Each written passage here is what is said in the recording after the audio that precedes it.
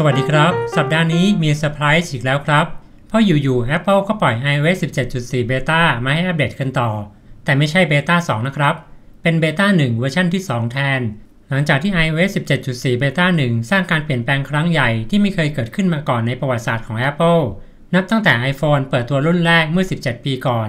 เพื่อนๆ สามารถดูรายละเอียดครั้งสำคัญนี้ ได้จากลิงก์ในคำอธิบายใต้คลิป และในคอมเมนต์แรกที่ปักหมุดของคลิปนี้ได้ครับสำหรับการอัปเดตใหม่ล่าสุดเวอร์ชันแก้ไขนี้มีอะไรเปลี่ยนแปลงบ้าง เพื่อนๆ สามารถดูรีวิวได้จากลิงก์ในคำอธิบายใต้คลิปนี้เช่นกันครับสำหรับ iOS 17.4 รองรับ iPhone ในรุ่นต่างๆ ที่แสดงอยู่บนหน้าจอตอนนี้เลยครับ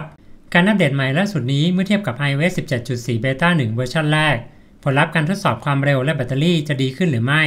เวอร์ชันนี้จะเป็นยังไง เราไปทดสอบกันเลยครับ เราไปเริ่มกันที่การทดสอบความเร็วด้วยแอป Geekbench 6 ผลลัพธ์ที่ได้ iOS 17.4 Beta 1 เวอร์ชัน2 บน iPhone 15 Pro Max ทำความเร็วในส่วนของ CPU Single Core เพิ่มขึ้นนิดเดียวครับ ในขณะที่ Multi Core ลดลงนิดๆ เราไปดูผลการทดสอบ GPU กันบ้างครับ ผลลัพธ์ที่ได้ความเร็วในการประมวลผลด้านกราฟิก ลดลงเล็กน้อย ความเร็วไม่ต่างจากเดิมมาก จากความเร็วเราไปทดสอบแบตเตอรี่กันต่อ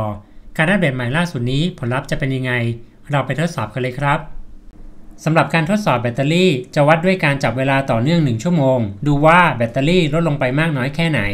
โดยตั้งระดับความสว่างในการแสดงผลเท่ากัน และตั้งระดับความดังของเสียงเท่ากัน เริ่มต้นที่ระดับแบตเตอรี่ 100%เท่ากัน สุขภาพแบตเตอรี่เท่ากัน ในวิดีโอนี้จะเร่งความเร็วในการเล่นนะครับ เพื่อให้วิดีโอสั้นและกระชับ จนถึงผลลัพธ์ที่ได้ไปชมกันเลยครับ ในการทดสอบแบตเตอรี่บน iPhone 15 Pro Max เนื่องจากจอภาพของตัวเครื่อง ใช้จอแสดงผลแบบ OLED ถ้าเปิดให้หน้าจอแสดงภาพเดิมค้างไว้นานๆ อาจทำให้จอแสดงผลเสียหาย เกิดภาพเดิมตกค้างอยู่บนหน้าจอโดยไม่จางหายไป หรือที่เรียกว่าอาการจอเบิร์นได้ครับ ดังนั้นในการทดสอบจะใช้วิธีการเปิดคลิปวิดีโอเพื่อทำการทดสอบนะครับ เพราะภาพวิดีโอมีการเคลื่อนไหวตลอดเวลา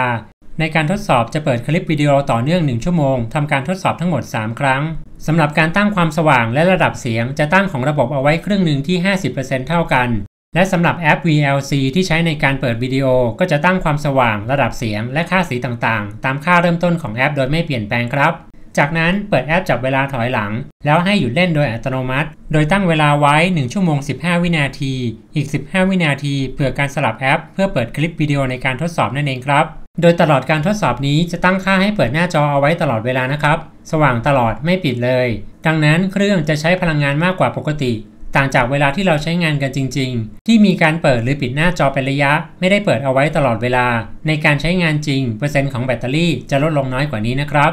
หลังผ่านไป 1 ชั่วโมง ผลการทดสอบ 3 ครั้งบน iPhone 15 Pro Max ปรากฏว่า iOS 17.4 Beta 1 เวอร์ชัน2 ยังคงใช้แบตเตอรี่ได้ประหยัดดี คงที่เท่ากับเวอร์ชัน1 ที่ 2%เหลือ 98%ครับ การอัปเดตเป็น iOS 17.4 Beta 1 เวอร์ชัน2 บน iPhone 15 Pro Max ความเร็วโดยรวมไม่ต่างจากเดิมมาก แบตเตอรี่ก็ยังประหยัดดี เพื่อนๆที่ติดตั้งตัวเวอร์ชัน1 ไปแล้ว ติดตั้งเวอร์ชัน2 กันต่อได้เลยนะครับ หรือเพื่อนๆที่สนใจเวอร์ชัน Beta